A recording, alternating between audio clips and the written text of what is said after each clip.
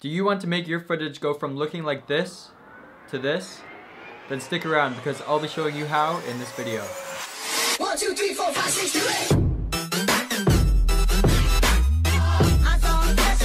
What's going on you guys? So this video was actually requested by one of you guys. I really hope this will help you when you're trying to edit your own videos and if you do want to see a specific video, drop it down in the comments below. I will definitely see it because I read all the comments and I try my best to respond to everyone. I have a special announcement at the end of this video so make sure you watch all the way through otherwise you will miss it. But other than that, let's go ahead and let's get started in the tutorial.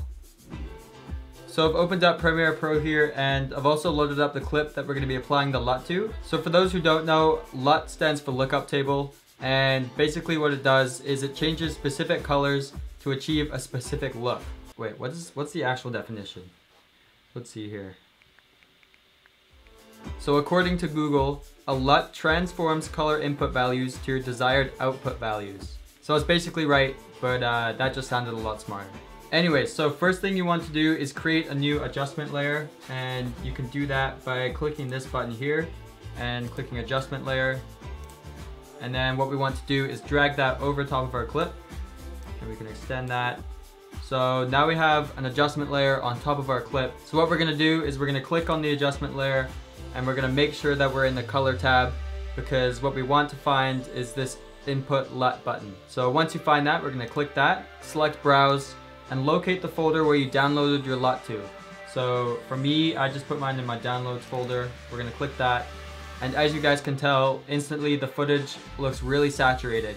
So this is way too oversaturated and this is not what we want it to look like. So there's a few changes we can make to get it to look a lot better and a lot more professional. So make sure your adjustment layer is still selected go up to the effect controls tab and we're gonna go find the opacity tab. And for me I usually bring this down to about 40% so let's do that again here. Drag that nicely. So already our footage is looking a lot nicer you guys can tell already. But uh, there's one more thing we can do to make it pop a little bit more so still having your adjustment layer selected and also still in the color tab, we're gonna go down and find the curves tab. We're gonna actually create in this top one here, a slight S curve. So what this does is it'll create a little bit more contrast in your image and it'll just make it pop a little bit more. So down here you have your, your shadows. We brought those shadows down. Up here your midtones and then up here your highlights. So just by upping the highlights and bringing down those shadows, it creates a nice contrast which will make your footage look a lot nicer. So let's take a look at what that looks like without it and with it. So now our footage is looking very professional. Here is a before and then here's an after. So by using LUTs, you can really make your footage stand out and it'll be more attractive to your audience, which will in turn hopefully get you a few more subscribers. So I personally used KinoLut for all of my videos and I think it was around $20 online. It's basically an orange and teal LUT and I'll put the link down below so you guys can go check that out if you want it. Remember there are no right or wrong LUTs to use because it really all depends on what style of video you're looking for. So for me, the orange and teal works really well, but for you guys, you might want a green or I don't know, a red. So yeah, there's thousands of LUTs out there and all of them will work if you use them correctly. So I hope this video actually helped you guys in editing your videos.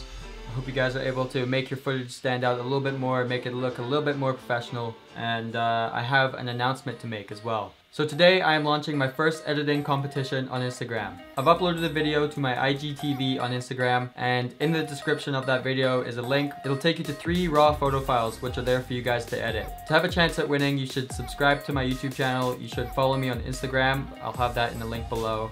And then when you post your edited photo, you should hashtag it, or you must hashtag it, otherwise I won't see it. You must hashtag it Nomadz Edit. I'll put that up on the screen so you guys can see it but Nomadz Edit. Next week I'll be picking the best edit for each photo, so there'll be three winners. Those who win, they'll be featured on my story, which all my audience will be able to see. Yeah, get creative with it. I want to see what you guys can come up with, so the more creative you are, the better of a chance you have at winning. With that said, I will see you in the next one.